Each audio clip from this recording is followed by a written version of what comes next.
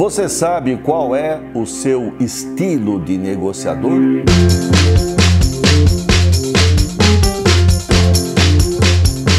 Se você não é inscrito, inscreva-se no canal. Tem um sininho aí, aperta o sininho, porque assim, toda vez que sair vídeo novo e eu faço um vídeo por semana, você vai ser informado. Ah, se gostar, dá um like. Recentemente falamos sobre os estudos de Jung num livrinho Tipos Psicológicos. Então agora vamos entrar no assunto em questão. Como a gente faz para descobrir qual é o estilo que a outra pessoa tem como negociadora? E como é que eu faço para perceber qual é o meu estilo? Tem estilo melhor, estilo pior? Vamos falar sobre isso. O pessoal que achou que essa ideia poderia ser útil para fazer com que os negociadores negociassem melhor, começaram a estudar a obra de Jung para ver como é que faziam para adaptá-la para pessoas que não são que não são psicólogos, não são terapeutas, gente como eu, como você, gente do dia a dia. Como é que você faz para um camarada que é um vendedor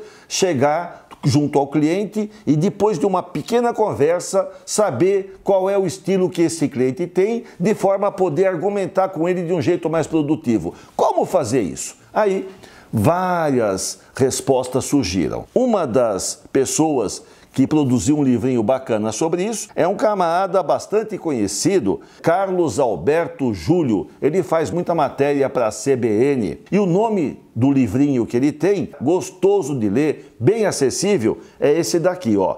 A magia dos grandes negociadores. Neste livro, ele vai falar sobre esse modelinho de estilos de negociadores, além de outras coisas mais sobre o processo negocial. Mas tem um outro que eu gosto mais, talvez porque foi o que eu primeiro usei, mas eu gosto desse camarada que é um autor chamado Luiz Augusto Costa Curta Junqueira.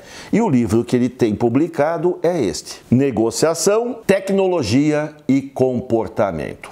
Veja só, ele é escrito de um jeito bem agradável, com ilustração, ele é bem claro. Neste livro, Costa Curta Junqueira diz o seguinte: e agora vamos para a ferramenta, vê se você consegue usar. Ele diz assim: sempre que você for negociar com uma pessoa, preste atenção que tem coisas fáceis de ver. Tem gente que é bastante informal e tem gente que é muito formal. Informal, formal. O que, que a gente percebe numa pessoa informal? Ela é uma pessoa mais acessível, é uma pessoa fácil da gente chegar e conversar, é o jeitão da pessoa, parece que ela é mais amigável.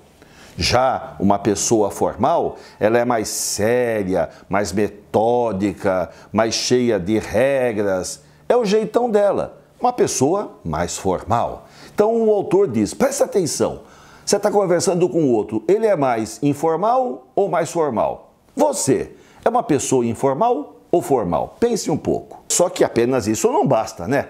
Além de saber se a pessoa é formal ou informal, você também tem que saber se a pessoa é dominante ou condescendente. E aí ele faz, enquanto, olha lá, para cima, informal, para baixo, formal, para esse lado de cá, ele coloca a palavra condescendente e dominante. O que, que é uma pessoa dominante? Pensando num negociador que é dominante, qual é a qualidade que mais se destaca nele? É ouvir ou falar? Falar. A característica principal de uma pessoa dominante é que ela é uma pessoa que toma muita iniciativa na negociação. Então, pessoas dominantes, elas são fera para falar e fera para tomar iniciativa. Já um negociador mais condescendente, que tem o perfil condescendente, segundo o autor Costa Curta Jonqueira, ele é mais hábil em ouvir e ele é uma pessoa mais paciente. Qualidades importantes em um negociador: ter paciência, saber ouvir, mas também é importante saber falar, se colocar, tomar iniciativa. Então eu estou falando de aspectos importantes numa negociação, mas tem gente que é mais uma coisa e menos outra. Então, por exemplo, vamos supor que você é o tipo de pessoa que é bastante informal e ao mesmo tempo é uma pessoa que toma iniciativa, fala mais. O seu estilo como negociador é catalisador. E aí ele dá uma série de dicas de um profissional catalisador. Se você é uma pessoa informal, mais. Mais de ouvir, mais de, da paciência. Então você é um negociador apoiador.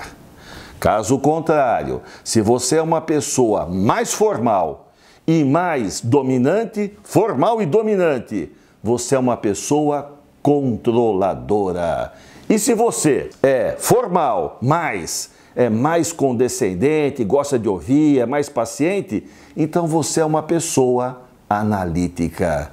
São esses os quatro estilos apresentados pelo autor, que agora você vê o quadro completo apresentado a você. Existem pessoas que são apoiadoras, pessoas que são analíticas, pessoas que têm o estilo controlador e pessoas que têm o estilo catalisador. Que estilo você identificou para você?